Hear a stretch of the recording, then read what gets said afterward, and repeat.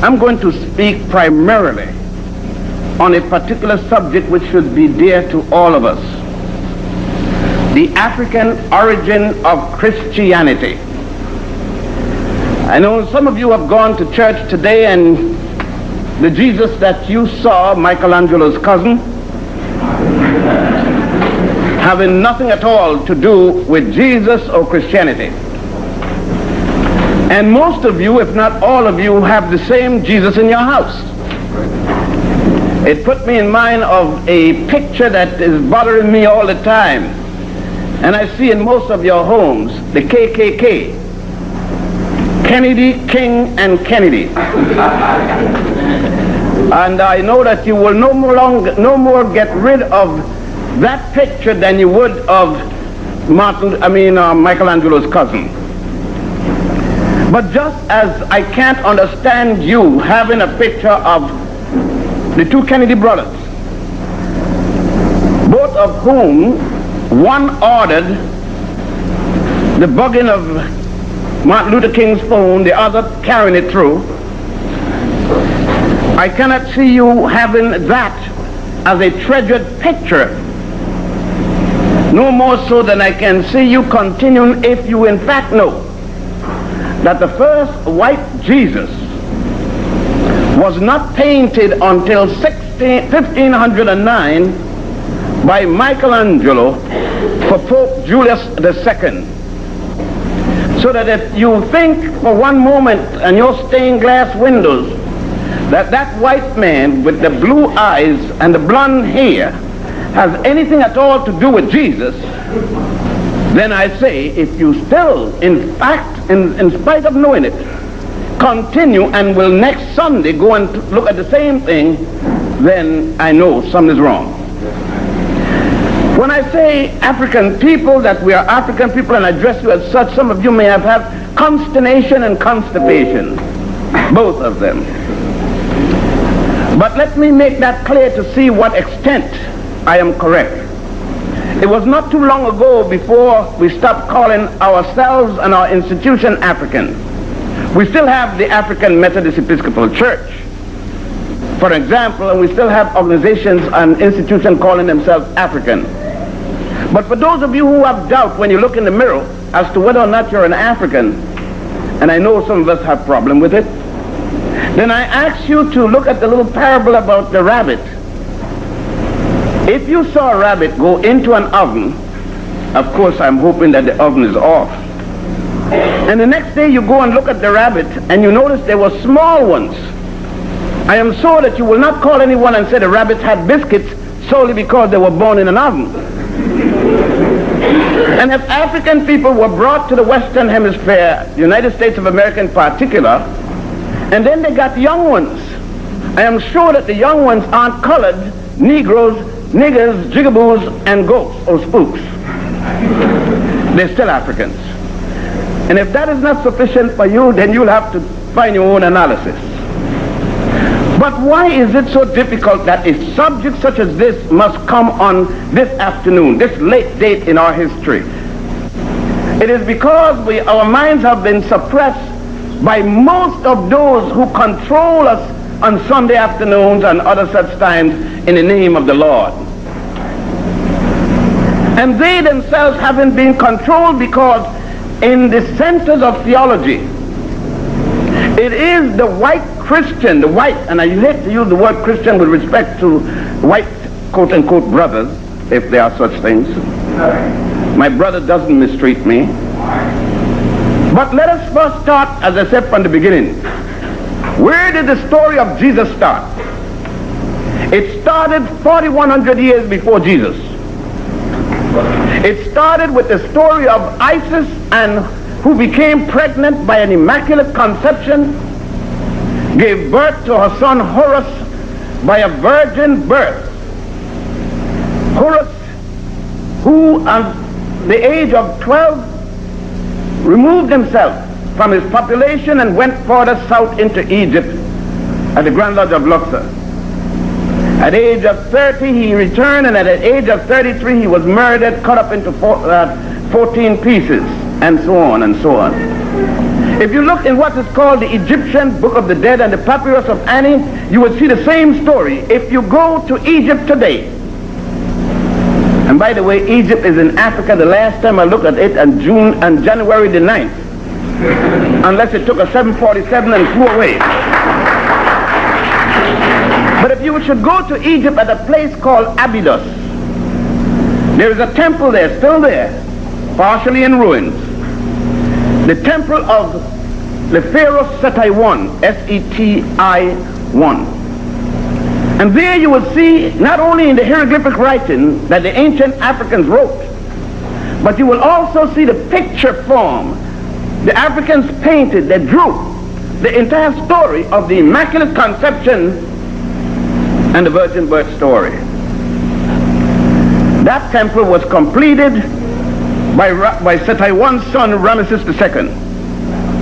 Ramesses II took over in 1298 before the Christian era, BC, after the death of his father, Seti I. You will see at another place, at a temple for the god Horus, and that's at a place called Edfu.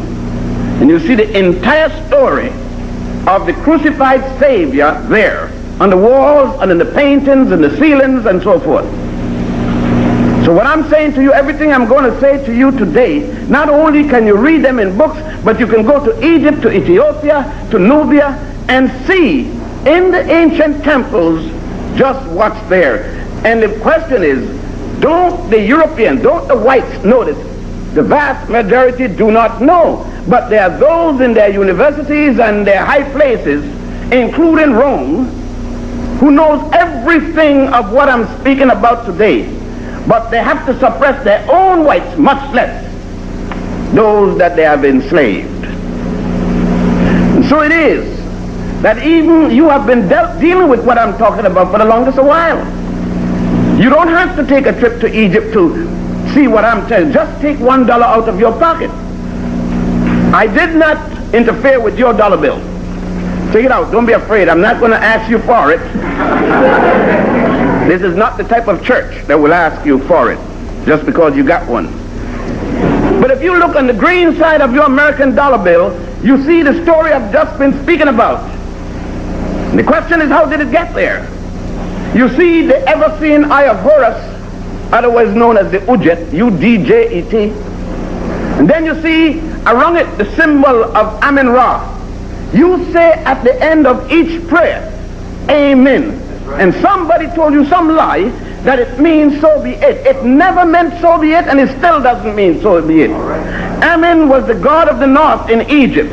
Ra, symbolized by the sun, was the god in the south. And when Egypt unified herself, they combined the god of the north and the god of the south into the one, and thus Amen Ra. A-M-E-N hyphen R-A. And the house of fire or pyramid, the Greek word P-Y-R-M-I-D, two words. Fire meaning fire or house and mid meaning the house. It is in this context then that the early people in Africa under the leadership of two Africans, one called Pantaeus, P-A-N-T-A-E-U-S, and the other one called Boetius. B-O-E-T-I-U-S. Some 1983 years ago, having fell out with another branch of their own, decided to then reintroduce the concept of the Immaculate Conception, the virgin birth, the murder and resurrection of uh, uh, the Godhead, which late um, Horus, which later became Jesus, and so forth. But have anyone ever told you? What we're speaking about is Christianity before Jesus. There are 16 crucified saviors, 16. Jesus being the 16th. The first being Horus, along the Nile, in the land from whence your ancestors came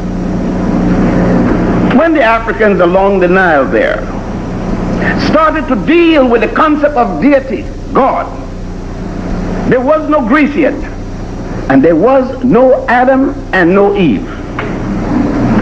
Because Adam and Eve is a concept, an allegory that came from the Hebrews, otherwise called Jews. The first of the Hebrews, Abraham, otherwise originally called Abram, A-B-R-M, and let us just quickly put a little thing so we can get an understanding of what we're talking about at this point. There, so that we certainly wouldn't uh, have no misconception of what this whole thing is. This is the Tigris, and this is the Euphrates. This is the Red Sea. This is the Indian Ocean, Ocean. This is the world's largest island, the island of Cuba. Now, they later called Marina and Madagascar, and now Madagascar Republic. This will be um, the Iberian Peninsula here. This will be Italy, the Italian Peninsula. This will be the Greek Peninsula here, and that will be Turkey and so forth. Here is where Asia and Africa joins.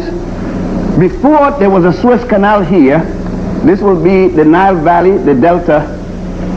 This will be the S-turn that the African engineers put in there to stop the inundation period.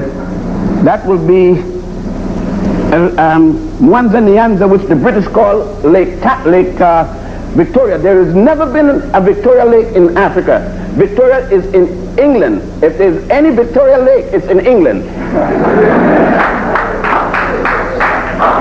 now that is, this is the Great Sea, later called the Mediterranean today. And this is the Ethiopian Ocean today called the Atlantic Ocean. Now I need to put this just for the sake of identification. Here is Mecca and here is Medina. Because later in my conversation this will take place. Modern Cairo is about here, but Cairo is not an ancient city. I'm just putting it for the sake of uh, demarcation. Here are the pyramid fields. The pyramids of Giza are right here. And the pyramids of Dahshur and all of them, there are 62 pyramids. All of them, all of the major structure on the West Bank. Of course, if we took a uh, map, this will be north, this south, east, west. Of course, when I speak of Upper Egypt, unlike there, Upper Egypt is in the south. In this part of Africa, when you say I'm go going down, you're going north, rather than the United States when you say going down south. Up there you say I'm going down north because the land is higher. And when we speak of Upper Egypt, we're speaking about the, in terms of the contour of the land. I wanted to give you this. Down here, the first cataract, and this map is, let's bring it a little bit up here, a little more. And this will be the pyramid field. Mind you, there are 62 pyramids in Egypt.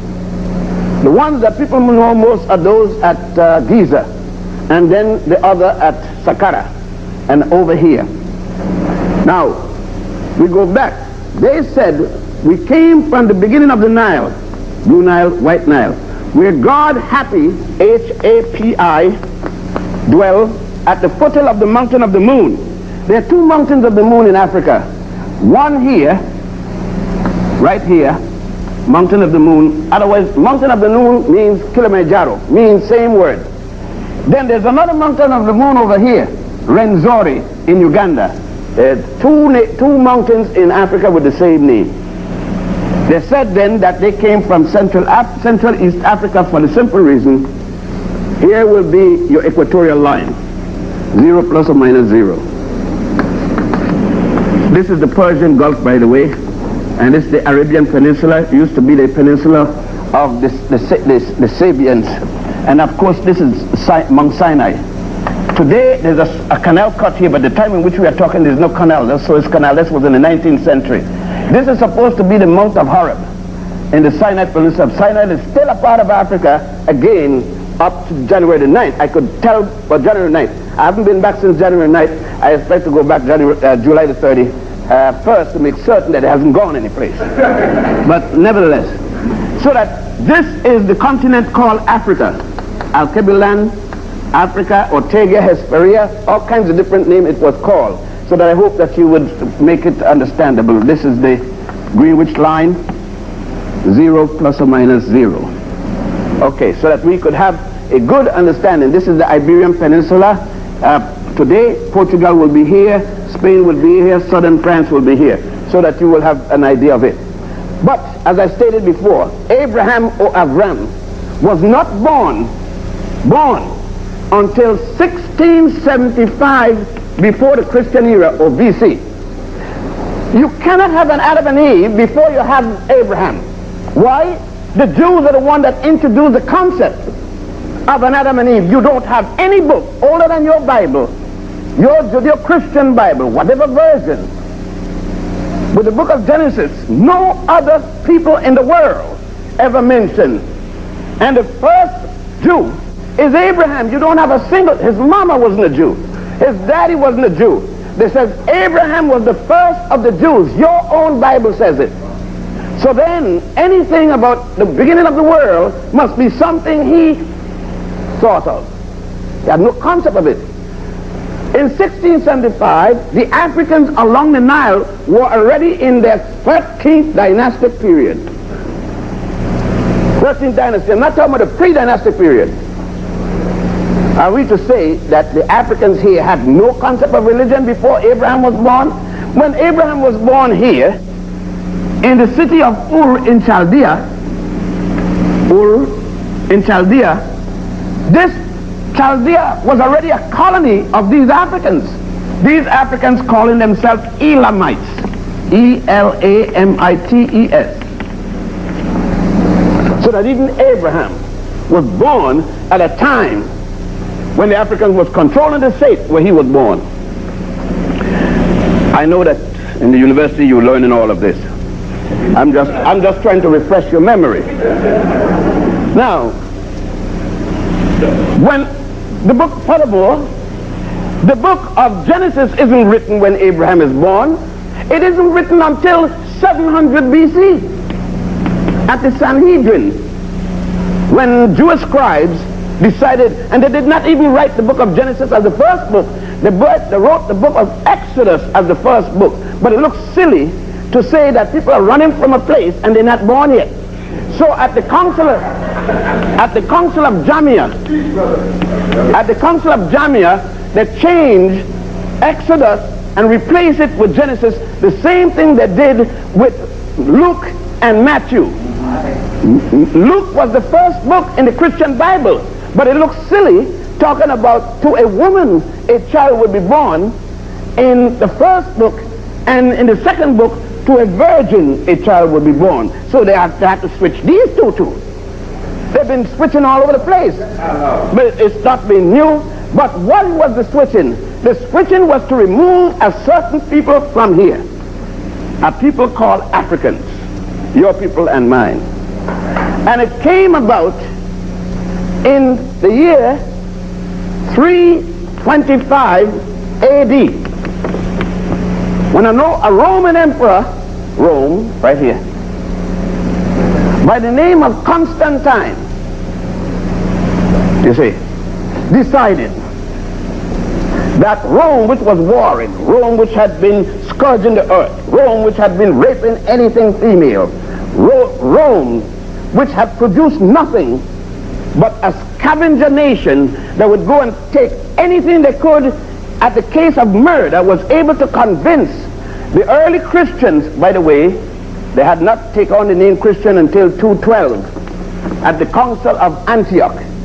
Antioch is the first time people start calling themselves Christians. Jesus supposed to have been dead 212 years before the first Christians. Jesus himself was never a Christian because you can't be a follower of yourself. But it was not until that council that I know that you're taught that in your Sunday school. You're taught very good things in your Sunday school. You must be. You gain 10% of your earnings. You should get some.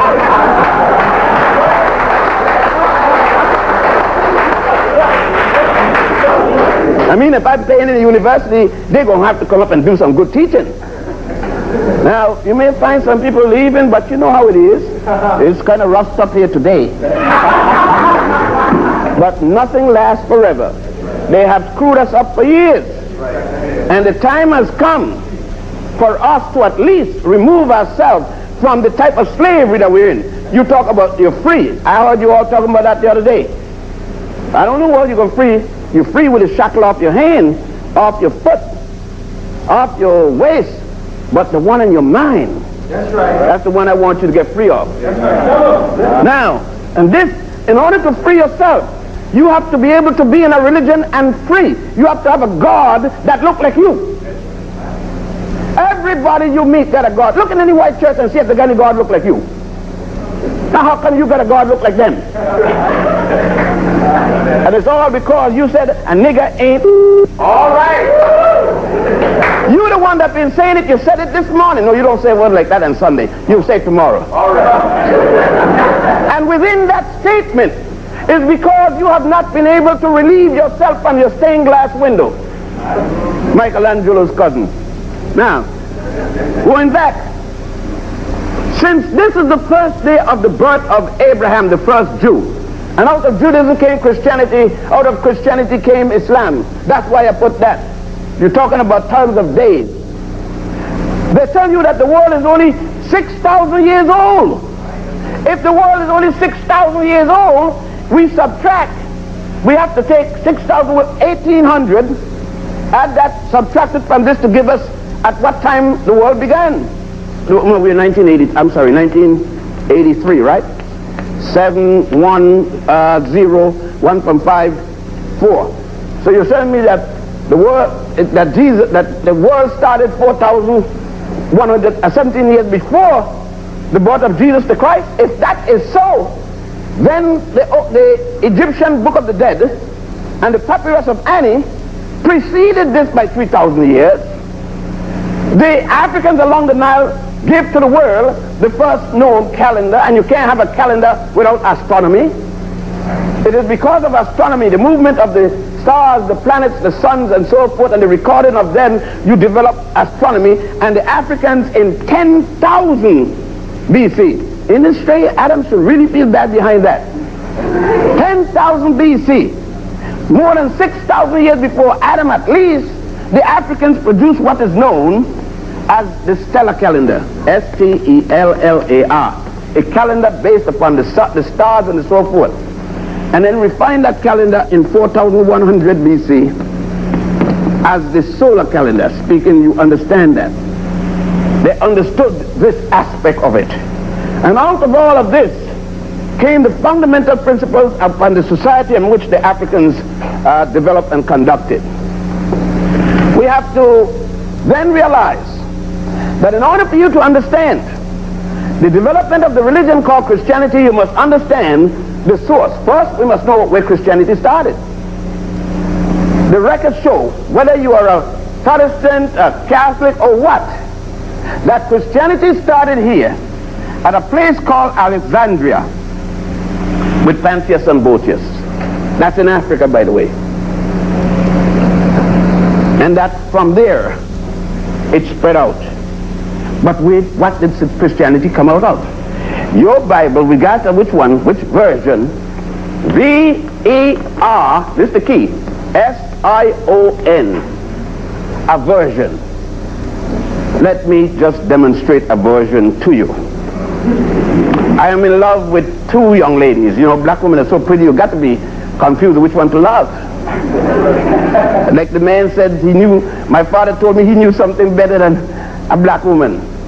So I knew they were so good. So I said, Daddy, what? And he said, two black women, son. so, so I, you understand. But anyhow, aversion is if I'm in love with two women and I want to give them present, but my bread, my money is short. You know how it is. So I gave one girl a mink coat made from mink pellets. I gave the other girl rabbit pellets, dyed mink coat. One got a version of a coat, of a mink coat. The one with the rabbit cannot go in acid rain. because the mink will run. But the one with the true mink could go in any rain. One got a version, and your Bible says in the second page, version, King James, Reims, Douay, Gutenberg, Vulgate, these are, there are about 15,000 versions. The sad part is that you don't have a version anymore. Not one of those versions is black version. That's right. Okay, you haven't used a black book yet because if it is so, how come all the angels in your book white? How come all the prophets in your book white? In a black country. but all right, let's keep going. And let us go on. As we say, this is here 1983 years ago. But this religion went across here. It went from Egypt to Lebos, now called Libya. From Lebos to Numidia. Numidia is now called uh, um, Tunisia. Then it went to Carthage, later called Carthage, today called Morocco. That's how it. Then it traveled down the Nile and went here, right here at the island of Philae, P-H, P-H-A-L-A-E, Philae, is where they established the first monastery, the first Christian monastery right here. And this religion existed 134 years before it went this way. But it came into this land as the worship of what is called the Herculaneum worship of Isis. Because originally, it was the worship of an African woman. It will seem strange, it should seem to you, that the first worship that man worshiped was not a man, not a god, but a goddess. The goddess Hathor. H-A-T-H-O-R. H-A-T-H-O-R. Hathor. Symbolized as a cow with a sun disk between her horn, which the Jews adopted and called the golden calf. The present Hindus adopted it and called it the sacred cow. When you go to Egypt right here and the western bank of the Nile, there is a temple at a place called Dendera, D-E-N-D-E-R-A-H, built in honor of goddess Hathor, and you would see 3,500 faces on each of the columns and our places of this African woman. And that's why they will have you go to Mecca and to Palestine and to, I mean, Jerusalem and to, to uh, Bethlehem, but never to Egypt, never to Ethiopia, never to, to, to, to, to, to um, Nubia to see the ancient tombs dug into the walls I mean, when I say a tomb, this building is one less than a quarter the size of the average tomb. I'm not talking about an eight by five thing, where all the records are there. When you talk about this, the source of this having come to um, um, uh, Judaism, but where did Judaism get its belief source?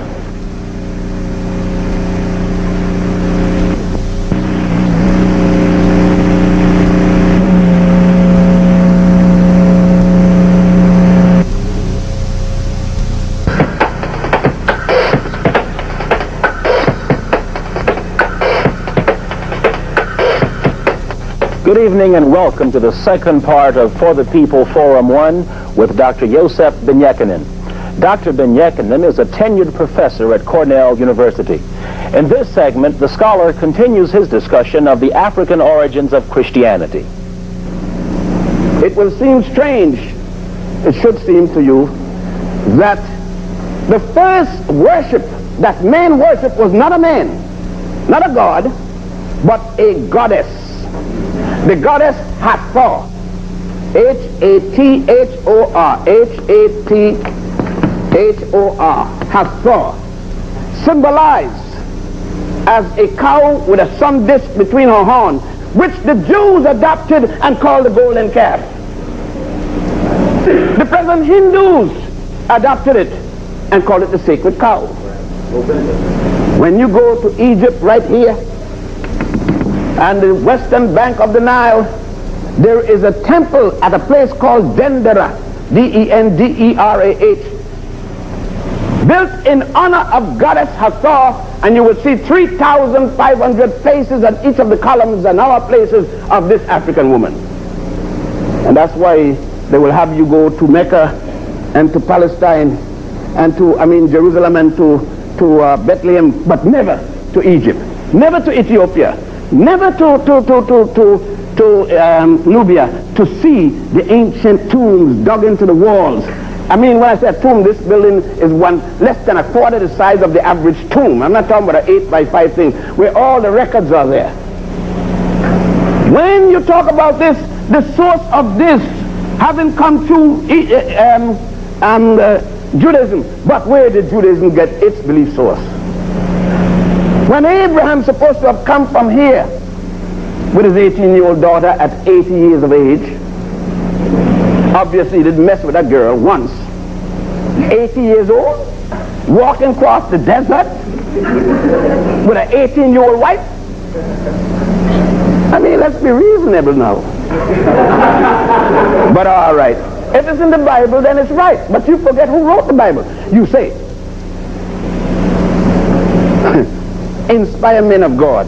I'm inspired by God too. Aren't, aren't you inspired by God? When you need to go to the toilet and you don't get an inspiration, what happens? There'll be doo-doo all over the place. So you better get an inspiration to go to the toilet or you don't go. And you're in trouble. An inspired man by God, what does it mean? Does it mean he tells the truth? Then the Pope in Rome shouldn't use eraser. He's perfect. You shouldn't erase it. Nobody you know is inspired. And all those writers had erasers, or at least they had a piece of the shirt to wipe with. But you let that word fool you so that anything anybody shoved down your throat, all they got to do is tell you, you, they're a man of God. That's right. Or they're inspired by God. What more inspiration they got than your daddy or you? You let them frighten you with that. There's nothing against religion. With all I'm going to say tonight, I'm a religious man. But I don't mean to be a foolish religious man. I don't mean for nobody to tell me that there's something wrong with my child the day it's born. I don't mean for anybody to tell me that when the story of Adam and Eve, bad, guru indifferent, that sex is bad. If it is, how come you here? Then all of you bad. Anyone in here isn't the result of sexual intercourse. If you don't understand it, I'll give you another word for it.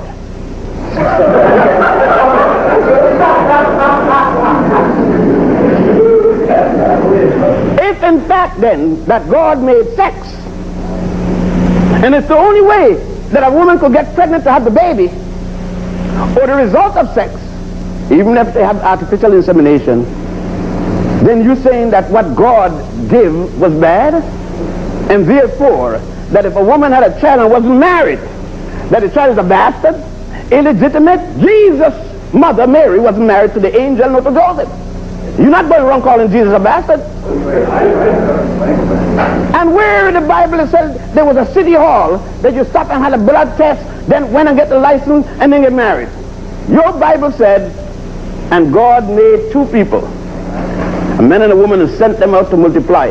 He didn't send them to do two times two equal four. Send them out to get sex and have babies. That's what he sent them to do. But you let some sucker come and tell you that the mere fact that your child is born is born in sin and therefore something is wrong with the child. What's wrong with the child? How else could the child have been born? Why would God curse the thing that God made and checked out? Amen. You think that God made sex and didn't check it out? Would you make a car and never run it, test run it? but no, you see, but you don't say nothing about it because a man stand up or a woman and tell you, run a lot of things down on you, make you feel guilty, make you go in a mental institution for the things that God gave you to do. But the Africans didn't bring this. Along the Nile, when the Africans established the worship of goddess Hathor, the first known deity, long before they worshiped Ptah. That's the first known male deity. The first known female deity was Hathor. And then there was another male, uh, f- female deity by the name of goddess Nut. Spelled like nut, Nut. In this year, in most of the pyramids, I mean most of the temples and most of the uh, tombs that you see, especially at a place called today Luxor. The Greeks originally called it Thebes. But the indigenous Africans for the first time call it Wa'at, W-A apostrophe A-T. There on the ceilings of the tombs, you see the body of this woman, this African woman, with stars and moons and everything symbolizing the outer space, the heavens. And one side, her, her head comes down, and on the other side, the, the legs come down. And then you see the god Geb, G-E-B, Geb, on kneeling on one knee and holding her, Listen to this. At the two columns of heaven, one hand on the vagina and the other on her breast, the two columns of heaven. That's where heaven was, and that's where heaven still is.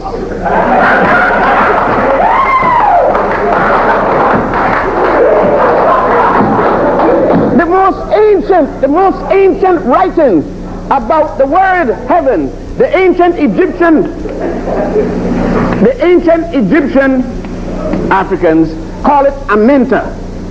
The opposite of that they call Abydos. In the hieratic writing. Hmm.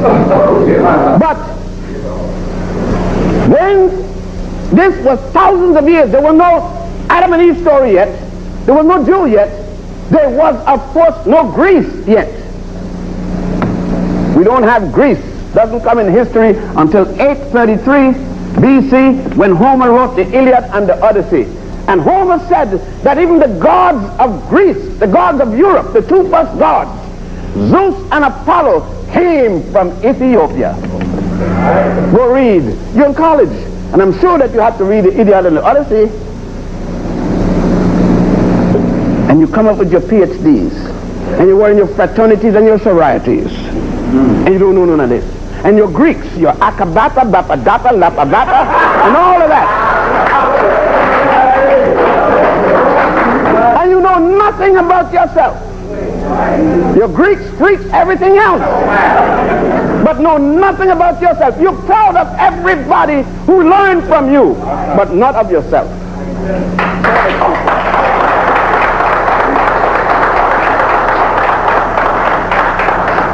Of course, this would be called racism soon. Yet I haven't said that anybody inferior or superior. All I'm dealing with me. I have no time to deal with other folks to be racist because there's so much of me that I need to deal with that have been so long neglected that I don't have time. Man, eh, I will be teaching another 2,000 years and don't start yet. The point is, if you knew this, then you will not be kneeling in, sitting in, busing your child from west hell to no hell. Your child going to the white neighborhood, but never a white child coming to your neighborhood. Isn't this strange? You busing to where? You prove that you're inferior. Because you bus your child to the white neighborhood, but never does the white people bus their child to your neighborhood. Uh-huh. And now you're begging for a day.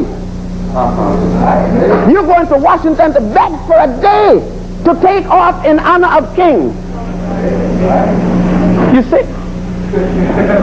The Italians got a day for an Italian that got lost. Trying to find him, find him here. Thinks he wants to go to the east, wound up over here. They got a day for that. The Irish got a day for a man that said kill some snakes. Came all the way from Italy to kill snakes in Ireland. The Pole got a day for General Pulaski and so on. They took a day. They didn't beg a living soul for a day. They took the day. You got to be in your damn knee all the time begging. Take the day.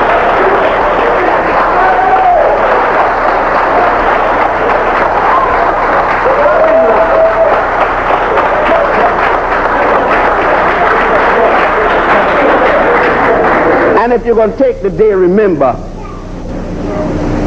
that a woman named Rosa Parks did it long before Martin Luther King Jr. was told by his mama. His mama, another black woman, go down there and get yourself straight. I didn't send you up there in Boston to get soft. Uh, a black woman.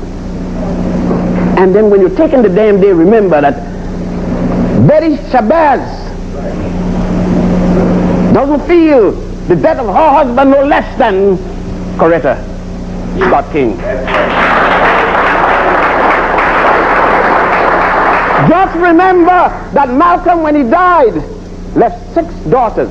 The last two, the twins, he didn't even know existed because Betty was going to surprise him and tell him she was pregnant. And he got killed before his birthday, but he got killed before it happened. So his last two, he didn't even know that his wife was pregnant. So when you're going to take a day, take one for Malcolm too. Yeah. Take one for Garvey. Yeah. Take one for Garvey, take one for Du Bois. Take one for Nat Turner, Denmark, Vesey, Nat, uh, uh, um, Henry Highland Garnet, Sojourner Truth, and um, Harriet Tubman. Take one. David Walker. Please don't take none for Crispus Attucks. That shot in his rectum, defi- de- de- defending his master. He was no hero. He just happened to be black. Happened to be black. He didn't do nothing for black people. He didn't do anything for himself. He got shot. So somebody has victory. But let's go on here. Nat Turner and Denmark Vesey understood Christianity. They took up arms to defend themselves as Jesus took up a stick and whipped some in the synagogue. All right. Yeah. This, this European Jesus that you teach up on the wall, that, that was Jesus. Man, ain't nobody from this part of the world coming here with the synagogue that's going to act like that and tell you to be moderate. But then again, there's some people with special interests, and their interests may not be necessarily your interest. That's right. There was a thing that said that those who call Lord, Lord, Lord, Father, but then Simon Peter, you can be the first guy. Hallowing all the days my name, but who gonna betray me? That was, uh, I hope that be a little warning. But all along the Nile here, when Abraham was born, what did the Jews have? Nothing. Goat, sheep herder. They came in here, and they met what? They met cities. They met an educational system here called the mystery system. They met medical practice, science, law, engineering. There is no Greece yet, there is no Rome, there is no Europe in history. When these Africans under Sesostris III changed the flow of this river this way to stop the inundation period. And now you're talking about you are, you are afraid of mathematics and science, that black people don't do well in mathematics and science is only when we're singing. But even that we don't do anymore. We don't sing the African spirituals which we misname the Negro spirituals. We sing songs from Wales and Scotland. One of the songs that get me so damn sick is the other day I went in the church and hear black people singing, Make me whiter than snow, oh Lord.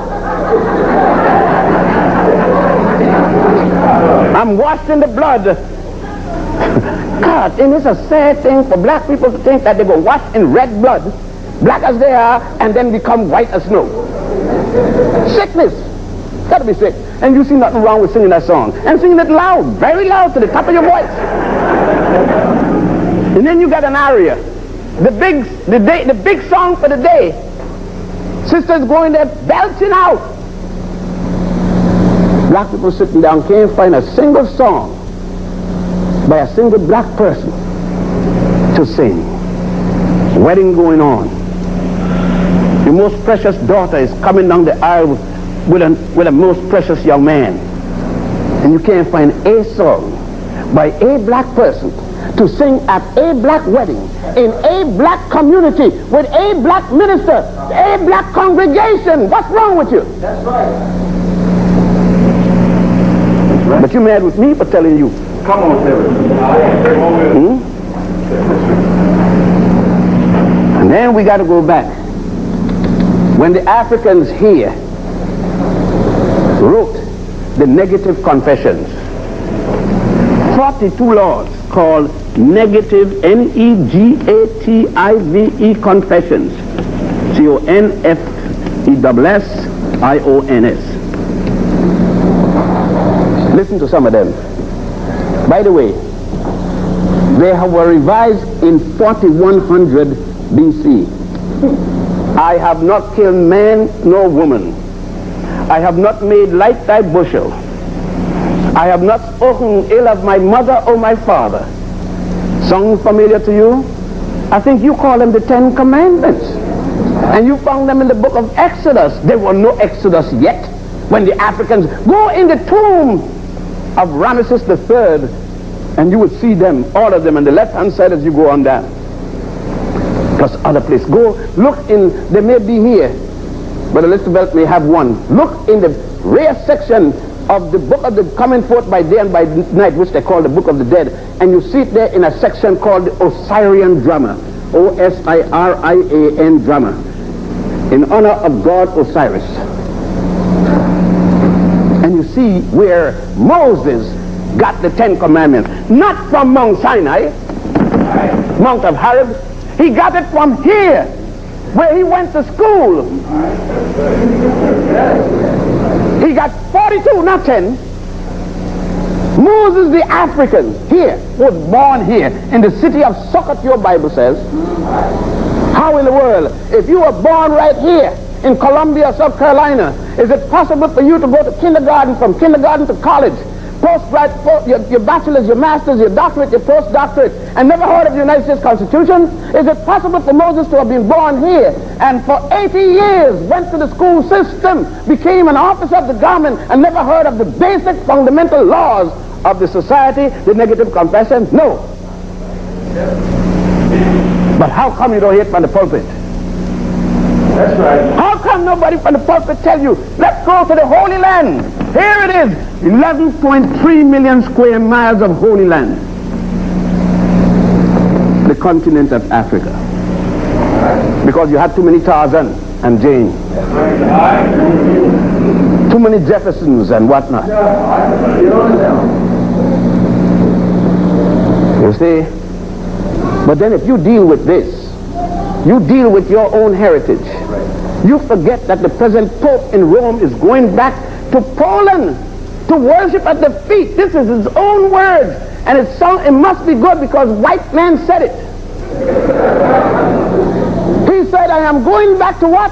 Worship at the feet of the black Madonna and child. Where is the black Madonna and child? There she is sitting in the audience. There she is. Any black woman out there with a child is a black Madonna. But no, how could it be a black Madonna when you beat her like a drum? You walk off and desert her with her baby's child. Hmm? You desert her when you get a dollar as soon as you could throw a basketball knee height to a grasshopper and run across the airport at Hertz with a suitcase and call yourself Herschel Walker.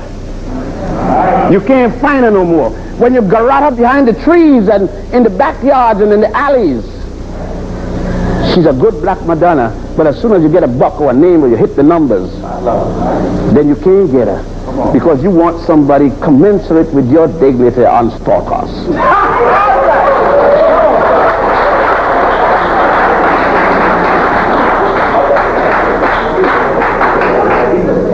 But I ask any one of you mothers out there, what is it about the story of Mary and Jesus that you didn't have with your child? Didn't Mary deliver her child with pain? And you say that God cursed Eve. And the curse was she had to bear pain when she gave birth for her sin. What was the sin? She ate of the forbidden fruit. Didn't Eve have pain when she gave birth to Jesus according to your story? What sin she committed? She was the mother of God. The Roman Catholic says, Holy Mary, mother of God, blessed are the fruit of thy womb, Jesus. But let us go further then. If we are going to take that, what you're saying. Didn't Mary breastfeed her child? Of course, you don't do that no more. It may uh, mess up your shape.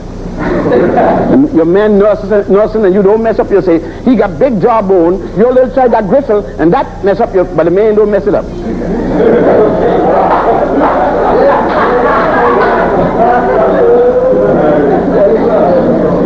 Contradicting values. Didn't Mary clean her little boy when he messed himself? One time at the university the other day, I was speaking to a young lady who was ultra, ultra religious and I said, well, Jesus messed himself. His mother must have. She said, stop. I said, what happened? She said, Jesus never messed himself. I said, well, when he came out of Mary, he knew how to change his own diaper. And even if, in order to change the diaper, something must have happened. Did he know to pull down his clothes the day he was born and go his diapers and go to the bathroom and defecate? She said, well, Jesus didn't do such things.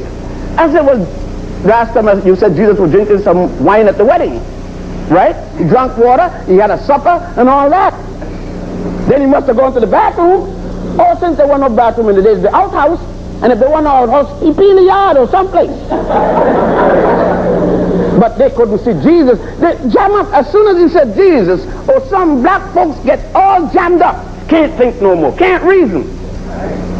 That's why anybody could do what they want to you because they can, as soon as they say God, they can pull the wool over your eyes and do you in.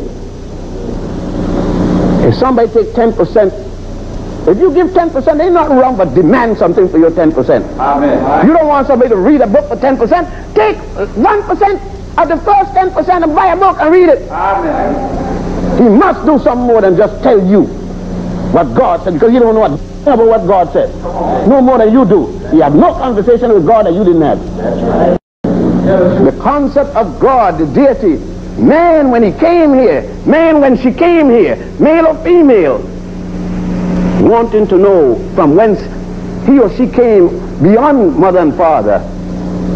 And since no one could tell, then want to know for the purpose of being here. And then where do I go after here? Man then. Man's own mentality. Man's own mind, man's own thinking, man's own brain, man's own heaven devise answers. Nothing wrong with that. But then understand what it is. No man came down from any Superman, no anything like that, and brought a wrote in a damn thing. This is the ideas of men, both male and female. And until we understand these things, and until we understand the source from it, when it came down the Nile, and these African geniuses who conceived this, wrote their books when Solomon, before Solomon plagiarized, before he stole the Proverbs from the Pharaoh Amenemope, A-M-E-N hyphen E-M hyphen E-O-P-E, who died a thousand years before Solomon was born and taught all of those so-called proverbs that Solomon and the other Jews stole. Before Moses, the myth that Moses gave to the world monotheism, an African by the name of Amenhotep IV. Amen. Hotep. IV,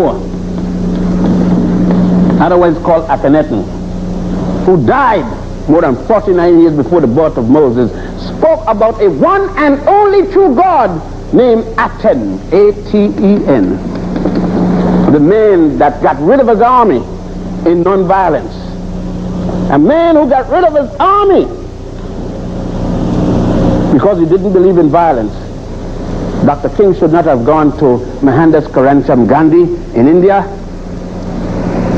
Gandhi himself, they should have read it. And the picture doesn't tell it. Spoke of where he got the idea of a method of nonviolence as a strategy by reading the works of Akhenaten. But they couldn't put a picture of Akhenaten because too dark, too black. Even you won't go to it. Because you see, when you get a chance to make a film, the other day in the 60s, what you made? Badass Sweet Back. Showing a black woman with her crotch wide open and, and, and the cameraman with a telephoto lens deep down in that woman. That's the way you treat the black woman. When you got a chance to make a film, made her a prostitute, and everybody in the film were prostitutes. Then you made another film, Cleopatra Jones.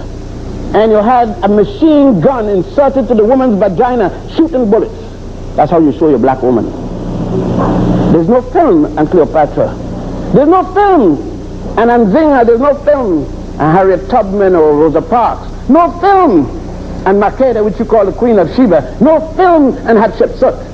Oh, those names you don't know all, right? But you know all the white names. You know Betsy Ross and all the Rosses. You know, you get what I mean. Virginia Dare and all the little dairies. Huh? But it's, and you never ask. Huh? You never ask the question, how come? All people take their race from their mothers. I hate to disappoint you, brothers. But you know, like the old saying, I am mama's baby. I am daddy's maybe. There's no doubt about who my mommy is.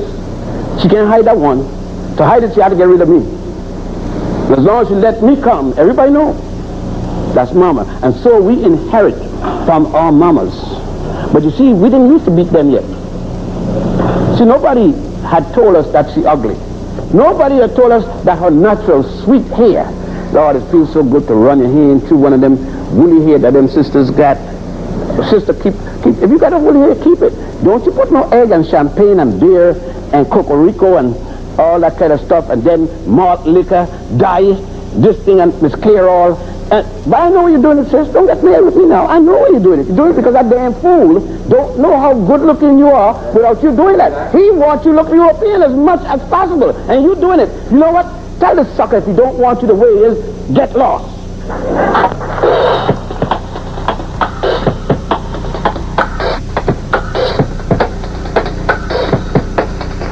Good evening and welcome to the third and final part of For the People Forum 1 with Dr. Yosef Ben-Jochanan of Cornell University. In this final segment, the scholar continues his discussion of the African origins of Christianity and fields questions from the audience. No, religion must relate. I am speaking religion. I haven't stopped from it all day. Praying has nothing to do with religion. That's a personal thing. You and your concept of a maker. Religion must be. Religion is the deification of a culture. And a people who cherish their culture soon find that culture becoming a religion. A God of love must love me, and then I will love that God. My God cannot be helping the enemy, and then I love that God. It is inconsistent with human dignity and reasoning that a God that constantly for 400 years helped the enemy could be my God. I must have a God that helps me. And I will love that God. Otherwise, you're not asking me to be real and to be human. Since God is the concept of man. What we are talking about as I boil down for question and answer period, uh, which we will have later, very good, is to just give you a touch into the concept of religion. And since I spoke of Judaism and Christianity, let me just remind those of you who I did not speak about Islam.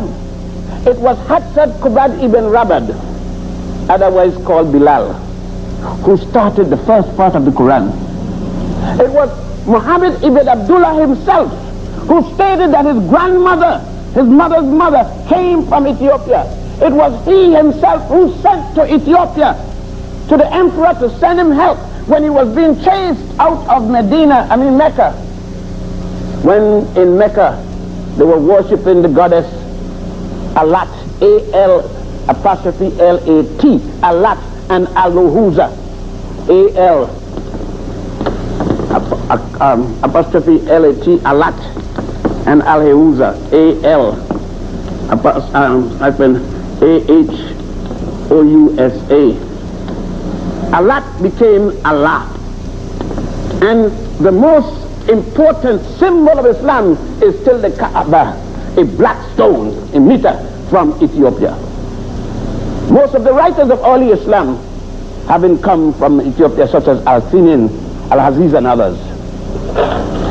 But when they show the picture of Muhammad done by an Arab, they only show Bilal as a slave. They didn't show that slave, but what kind of slave? That his slavery was as a lawyer because he, had, he was, when he went to, to, to Mecca as ambassador for the Ethiopian government, they then held him there and enslaved him over political risks. Nothing said, nothing said when they came here.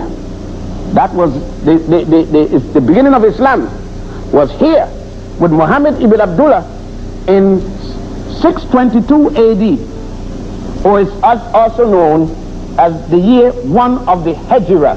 The Hijrah means the year Muhammad ibn Abdullah fled Mecca with Abu, Abu Bakr, uh, Umar the Great, Hassad Kubat ibn Rabad, Bilal, himself and others, the other followers. And it was 639 that they came here as conquerors with what is called the jihads. J-I-H-A-D-S or holy wars. Everybody using the Africans for the foundation of their religion and concepts. We are even told that Benny Goodman is the king of swing. I guess Duke Ellington and Fats Waller and uh, for some of you young people, you may not know these names, but your mom, your grandparents should be able to tell you them. Mm. Count Basie and Lionel Hampton and all these. One brother just died about two years ago, two days or three days ago on the west coast, Father Earl Hines and others. I guess name of the emperors. If, Duke, if, if Benny Goodman is the king, they're the emperors. Huh? But then, as I said again, blues and things you look down at. But you forget that your gospel music came out that blues and that jazz. Go look at Mr. Dorsey. Ask old man Dorsey, who played in a jazz band and went into the church, the church that rejected that form of music because it didn't come from Europe. The same gospel that you wouldn't give up today was rejected because it was introduced by a black man by the name of Dorsey. There's a very famous song that you sing at funerals by Dorsey. Anybody? Nobody? That's your exam. Almost every black Christian funeral, that song is sung. And it's by Dorsey, the man that brought and made the blue, the uh, gospel music in your church. Oh yes, you know who did the Star Spangled Banner though. And you feel bad if Aretha Franklin jazz it. But you don't worry about Kate Smith bugging it up. Again, and it comes from a deep sense of what we don't get here on Sundays. Sundays when we come, when this black woman comes with her child and her man, she doesn't want to hear nobody cursing her out. She doesn't need anyone after catching hell all week long from this man who has been doing it from 1506 in the Western Hemisphere, starting in Haiti with Santo Domingo. Haiti and Santo Domingo then called Hispaniola. When the Pope in Rome, the Roman Catholic Pope Martin V, and Bartolomé de las Casas started the slave trade to the west in 15 and an island now called Hispaniola, shared by Haiti and Santo Domingo. How many churches said when the Haitians were dying on the beach there in Florida, how many ministers say, let us rise up? But no, you're rising up for the Koreans and the Vietnamese. Not realizing that the first place they brought you, the boats did not come straight from Africa here. Neither there. We were in, we were in Hispaniola. We were in Iberian Peninsula from 711 711 AD to, 4, to 1485 before we lost power. We had even built, gave Europe its first university, the University of Salamanca in Spain. We created the first educational system. It is there. After we lost power, they took the first 4,000 of us and carried us to the island of Hispaniola. 1506. It was not until 1619 or 20 that the first group of us came from Barbados. Barbados to Virginia. And we came as professionals, architects, engineers, lawyer, and two doctors, and so forth. I do not know, in closing, what is it you feel sad about? With a history like this behind you, how could you be sad? But I know you got to be sad. You didn't know it. And I've just touched the first line of the first sentence of a billion sentences to talk about you. To talk about how great you are. You say, well, if I'm so great, how come I get it like this? Gunpowder. It had nothing to do with Christianity. They said that the Africans ate the Christians, missionaries. Oh, what a shame we did not.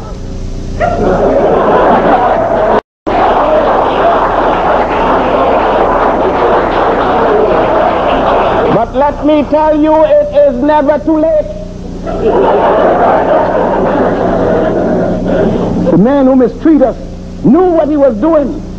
Why should we now say, well, after all, he's a child of God? Isn't it strange that when somebody die, all of a sudden they become good? beat a woman all day of his life, kick her, starve her, and when she die, when he died, instead of she's dead, God, I'm so glad you killed him. I wish I had the chance. The minister tell her to say, well, after all, he's God's child. Don't you beat your bad child? Or have you gotten so modern that you let the child knock the hell out of you and don't want to hurt his ego? Not my children. My children get a, not just a beating, whipping. And their ego is damaged because I want it damaged. I beat them to hurt the ego. So that when he get 18, he doesn't have an idea of messing with me because he know it ain't beating then. He's going to die. If he raise a hand, any animal chastises its young then why not us? Yes, we cannot go there voting for Wallace. He doesn't suddenly get good because somebody shot him in his back. But there you are. He's reformed. He got good. Lester Maddox got good too. You sold up for pork chop.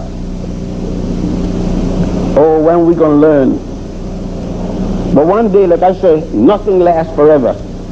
They didn't believe that the day will ever come when I will be able to get up in front of my people or anybody else and speak like this to each other.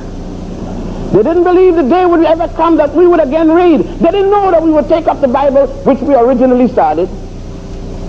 They didn't know that the day will come when we did not have a Bible with just three pages that says, Slave, obey your master, render unto Caesar that which is of the Caesar, and unto the Lord that which is of the Lord. Can you imagine Jesus saying to people, be satisfied with slavery? Now, you know the guy that put that in there had nothing to do with Jesus. No way in the world. A man who violated every rule that he didn't like that was opposing the people. A man who stick his hand around a woman's neck. Yeah, Jesus put his hand around the sister's neck and said, hey, what's wrong, baby? You said, Jesus didn't say that. They said Jesus spoke in the language of the people. What is the language of us? We're not English. He said, hey, hey, baby, what's happening? And he sucked a kiss. Jesus had to kiss her as good as that sister looked. He took away even the sex from Jesus. Can't have no sex. Why? Because you sick about sex. Because sex means something bad to you. So Jesus had to have no sex. Jesus gonna make all kind of woman, make all kind of men, but never check out sex because you sick about sex. Because your sick little mind makes sex bad. Nothing wrong with sex, it's wrong with you. If you go around making your body a garbage pail and he go around start to put it like a cigarette butt, then naturally sex is bad and Jesus couldn't have had it. But if sex was good because your mind treated good, then Jesus could have had it. But you couldn't have Jesus with sex because with your sick little perverted mind, it was of the devil. But God took all the time to make a male reproductive organ, a female reproductive organ, which is better than any Swiss wristwatch. Intricate, with all the ramifications of reproduction, sperms and ovaries. And then God curses. We go to all that trouble? Go to a gynecologist and ask him the intricacy of a woman's reproductive organs. Go and ask him why, with the mistreatment of brutal men, she has to come there all the time for treatment because of the delicateness of this African woman. And then you take her body and say that she is something less than honorable solely because you have a sick opinion about what sex is. You don't come to any church and let any man stand up here and curse you.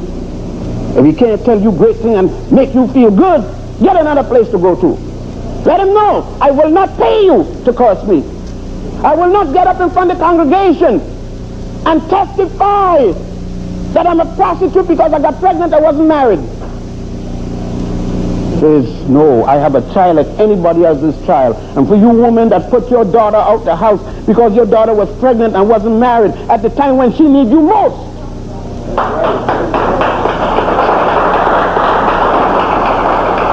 You let some man stay up here and tell you to throw your daughter out of the house. Make your daughter get up in front of a congregation and say when she lay in bed, when she didn't, what place she laid in bed, taking it off her mind, telling her own damn business to the general public and call it. Cleaning your mind, that's a sick man. He just so perverted he wants to know how she had sex.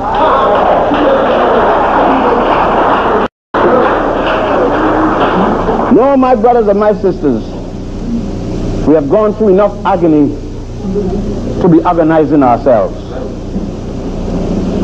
We are a good people. We have to have been to do the things we do. We have been, we have been carried. Our, our uh, Holocaust is not with an, our Holocaust doesn't end with a T. It ends with an S. Holocaust. 50 million of us in the southern tip of Africa. Murdered because we were what we were. Over 25 million of us in what was then called Congo. Countless millions more elsewhere. 15 million of us across the Atlantic in what they call the triangular trade as our women took their newborn and threw them to the sharks, which was they thought was a better life. A mother taking her son as she gave birth as she gave birth and only sometimes hear the child, never seen it because it was already contracted for. And we are asked to forgive this, even to forget it. And we pray and kneel and say we will never touch a hair in the manner other man who did that to our mothers, our daughters, our sisters. That's right. What kind of men are we? That's right to stay there and see our women being so molested and mistreated and kneel and pray and ask, would you think Jesus would have stood there and let a man do that to Mary? But no, you don't believe in violence. Everybody else does. But you don't. Ask any woman who gives birth to a child if it wasn't violent. Even birth starts violently, and death is. Stop your heart for a moment and see how it feels. It's violent. I say these things in the name of the Father. That's the man and the mother. That's the woman and the child. The Holy Trinity. Daddy, Mama, and me. Thank you.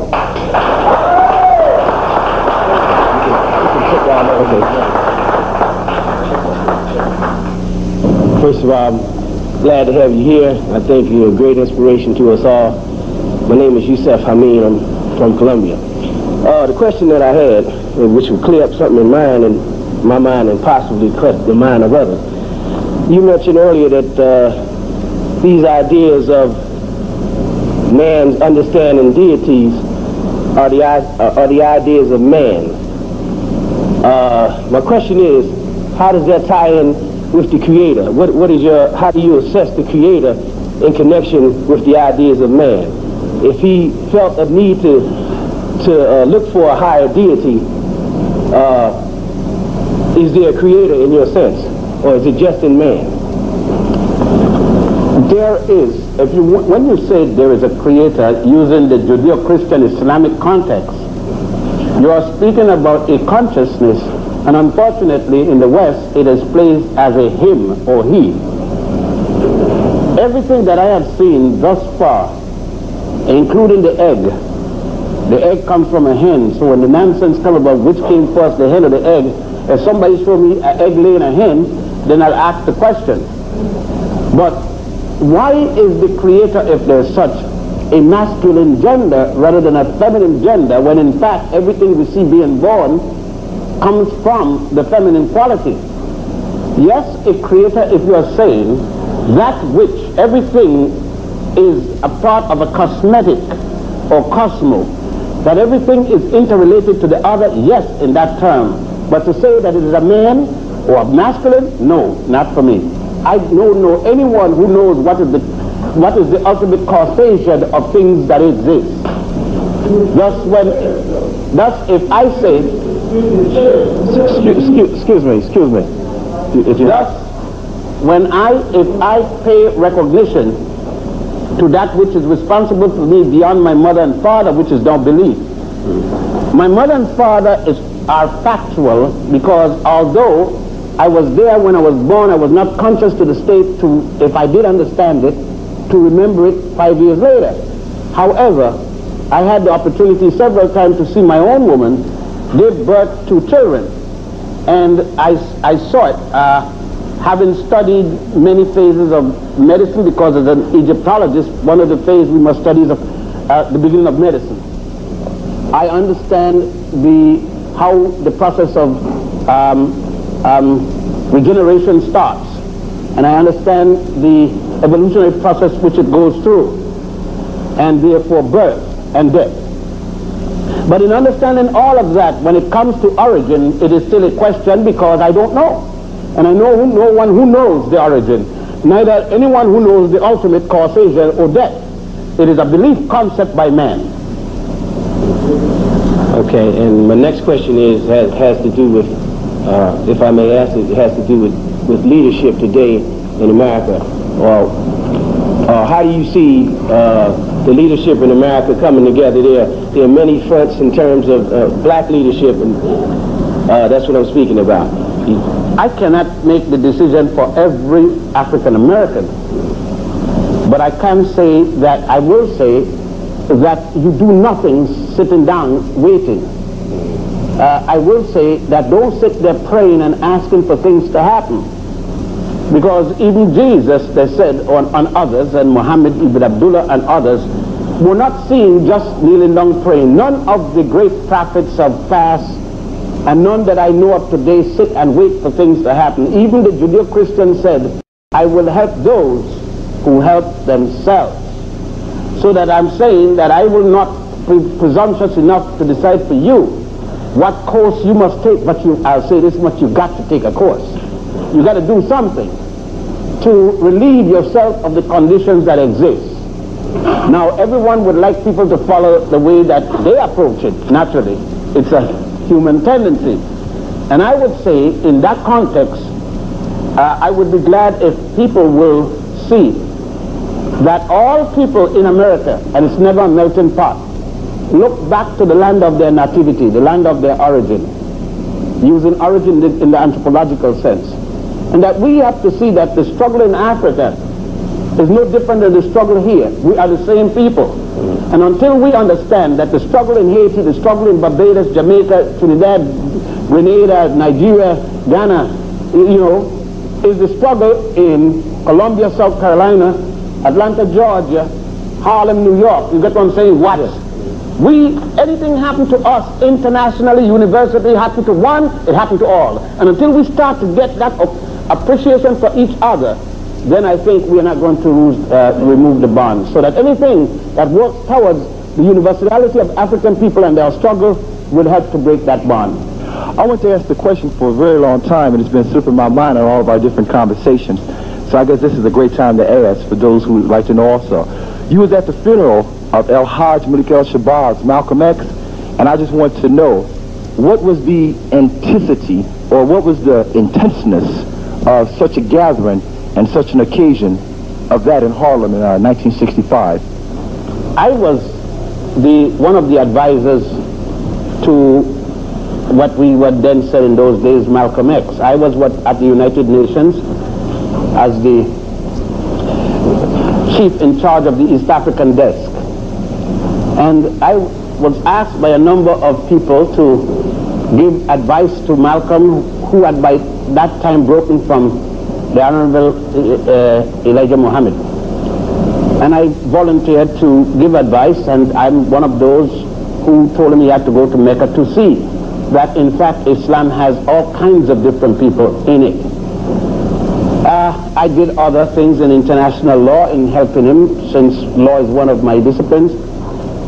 And in Harlem, you've got to remember that Malcolm was known prior to his, uh, his encounter with the Honorable Elijah Muhammad. He was known in the streets of Harlem as well as he was known after he came back from the prison in Atlanta. And so that he was, and, and uh, his charisma uh, made him a most popular person in the Harlems of the United States and the Harlem, New York in particular. I think where his strength and st uh, uh, uh, his, his songboard was in Temple number 7 at 116th Street, 100 West, 116th Street. So the whole, the, the, the death of Malcolm electrified Harlem like nothing else that I've seen. And I've been coming to Harlem back and forth since 1938. No one can, in words,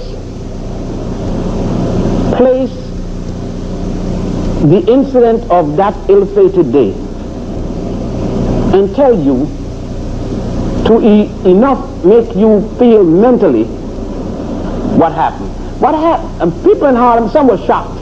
Some were crying without, without control. Some were physically doing things to themselves in disgust and uh, things like that. Uh, two, there was another such thing almost like that, the King affair also struck people very uh, uh, in that kind of context. But in the terms of Malcolm, you see, Malcolm was with the common man. Malcolm was the epitome of what many black women wanted a man to be. I think Ossie Davis said it uh, best in his eulogy when he said, when he spoke of the shining black prince. Malcolm had made the black woman even cross line, whether she was a follower of king or not. Realized that it was a man at least saying, I will stand up for my woman regardless. And it seems as if the powers that be made him lucky to have six such women, six daughters. Of course, none of which he uh, lived to, but the fate, you know, it, things are, things happen ironically. You realize that Malcolm's old, oldest daughter at Attallah, my very close daughter in a sense, and King's daughter have a company together? It's ironic. Uh, what would have happened if Malcolm and King, or Garvey and Du Bois, or, or Booker T. Washington and Du Bois would have put away their personal feelings about each other, I would not probably be here speaking to you because probably our problems might have been solved one way or the other. Generally, when I go to lecture in a regular place and it's mostly black audience, I always ask the brother to look next to the sister next to him and say, with a straight face, don't close your eyes, I love you. To that sister, you don't know her from Adam, but just watch her dead in the eyes she watch you dead in the eye and say, I love you, without meaning to go to bed with her or him. We haven't told each other that in a long, long time. If it got to the point that if a sister sees me in a dark night at one end of the corner and she's at the other end, she go in another corner, another street to avoid me. It should be that when she see me, she glad. She saw a brother who she know gonna protect her. She should run, come to me.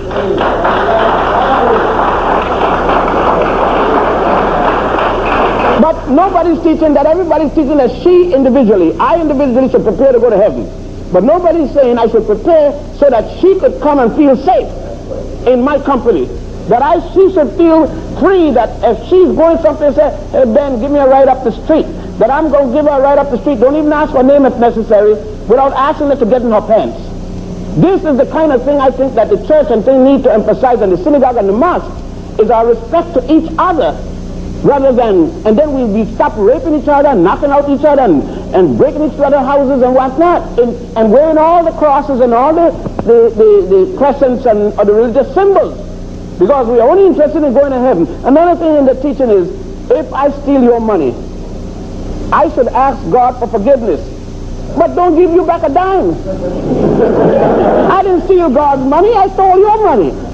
The minister should say, give the man back his money plus the interest.